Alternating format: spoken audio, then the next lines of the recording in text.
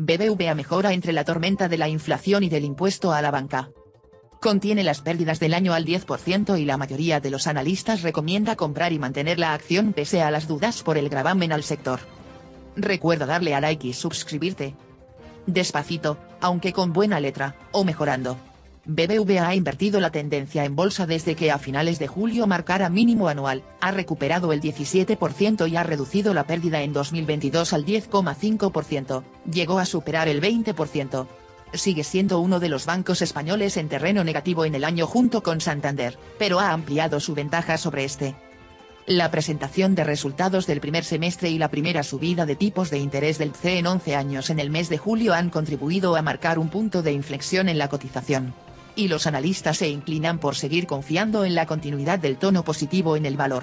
Se pronuncian a partes iguales por comprar y mantener el valor, con el 48,4% de recomendaciones según el consenso recogido por Bloomberg. El potencial de revalorización llega al 34%, según el precio objetivo medio del consenso, Solo KBW tiene consejo de venta. El valor también ha digerido el efecto negativo del impuesto del gobierno sobre los ingresos extra del sector por las alzas de tipos, del que se conocieron los detalles a finales de julio. Scope Ratings estima que el impuesto se llevará entre el 35% y el 55% de los beneficios que obtenga el sector por la subida de tipos y Credit Suisse se calcula que para BBVA supondría entre 280 millones y 310 millones para 2022 y 2023. La entidad vasca es de las menos afectadas, gracias a la diversificación geográfica de su actividad. Goldman Sachs, que espera un impacto negativo para BBVA por la medida de unos 283 millones en 2022, aguarda conocer los detalles finales sobre la implementación. De momento se muestra neutral con el Banco Español, aunque ha mejorado las previsiones sobre el negocio para el conjunto del año tras el buen balance del primer semestre, que reflejó un repunte del beneficio del 57% prevé un alza de ingresos del 11%, y considera que las claves para el negocio son el incremento de los tipos, que puede acelerar los ingresos netos por intereses en España, la evolución de la lira turca frente al euro, y los costes operativos por la inflación salarial y de tecnología. Ha subido el precio objetivo a 7,2 euros, por su parte, Credit Suisse destacó el tirón de México, pero su posición neutral obedece a un posible deterioro en la calidad de los activos en este país, particularmente si continúan al alta los tipos, y a que la inflación persistente en Turquía se traduzca en ajustes mayores a los esperados en la filial que afecten al beneficio del grupo.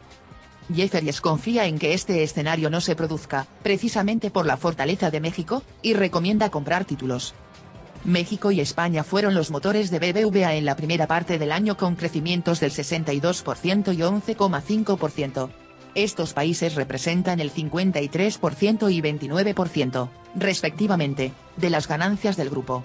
Turquía, es el tercer mercado clave, tuvo un resultado de 62 millones después de aplicarse la contabilidad por hiperinflación, ya que se estima que los precios suban el 60% en 2022.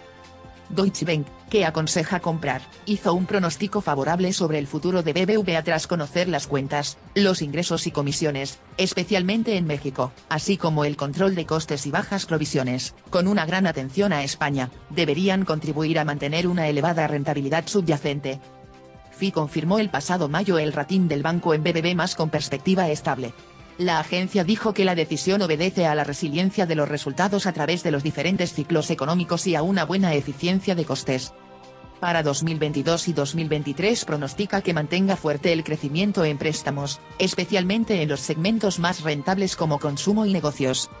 Sin embargo, Fitch acaba de bajar la nota a Garanti BBVA a bono basura ante la inestabilidad política en Turquía, que refuerza el riesgo de intervención del gobierno de Erdogan en el sistema bancario. Dale a like y suscríbete.